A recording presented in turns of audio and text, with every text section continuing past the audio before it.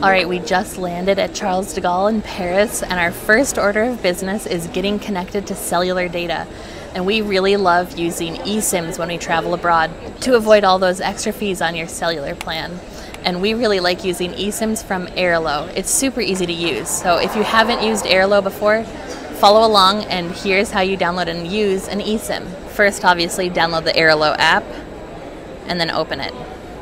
Airalo is great. You can get eSIMs for specific countries, or if you're traveling to multiple countries, you can also get ones for specific regions, like Europe or Asia broadly. Uh, we're in France, so obviously we're going to be selecting France. And here you can see all of the different types of eSIMs they have available. And they have a special one right now, specifically for the Olympics. And it's valid for 17 days, which is the duration of the Olympics and it's 20 gigs of data for only $12. That's pretty great. So we're going to go ahead and buy it. Super simple. All you have to do is accept the terms and conditions and then just pay with your credit card. Once you have your eSIM, you're going to have to install it. But before you do, go to your cellular settings in your phone. And what I like to do personally is turn off my primary cell line just because I don't want to get any extra charges. So I'm better safe than sorry, but theoretically, if you just turn off roaming, you should be good. All right, my cell line is off. Let's install this eSIM. You can view the instructions for how to install. It's pretty simple. All right, my eSIM has been installed on my phone and all I have to do now is activate it.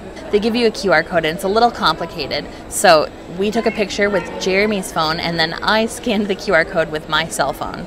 Now we get started. Let's install this eSIM. When you install this, make sure you're off airplane mode. I'm currently on it, so let's get that fixed. All right, here we go. Activate.